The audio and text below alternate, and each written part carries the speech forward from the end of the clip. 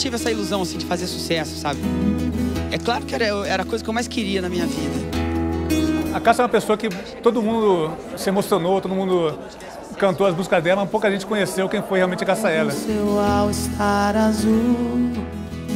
Bom, a Cássia foi uma pessoa muito complexa, né? E, mas acho que o que ficou na época na cabeça das pessoas, na mídia, foi uma imagem muito estereotipada, qualquer polêmica, que cuspia no palco e fazia aquelas loucuras.